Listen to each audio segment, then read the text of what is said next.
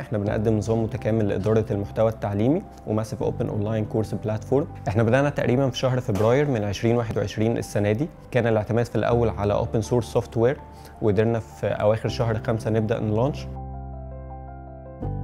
من المشاكل اللي واجهتنا وخلتنا نفكر في Educality زي مثلا مشكلة الكورونا فده أثر على التعليم الجامعي واضطرينا إن إحنا نوقف دراسة فترات طويلة وما كناش عارفين هنرجع ولا لأ.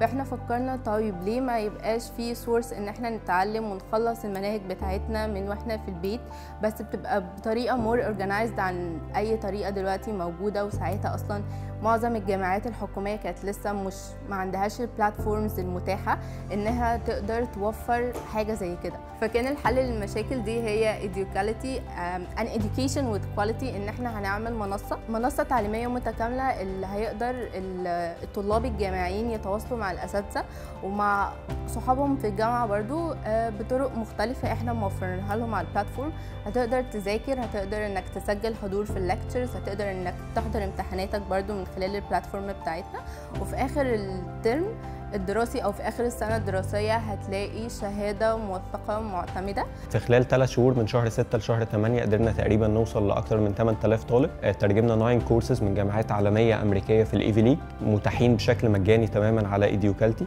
وحاليا متعاقدين مع سبع معاهد ومراكز بيقدموا شهادات وبرامج مهنية مدفوعة. وفي طريقنا إن إحنا نتفق مع جامعات ومؤسسات مصرية حكومية وخاصة. عن طريق educality.com تقدر تدرس كورسات موثقة من جامعات أمريكية زي جامعة ييل الأمريكية. الكورسات for free و online وفي مجالات مختلفة ومتنوعة.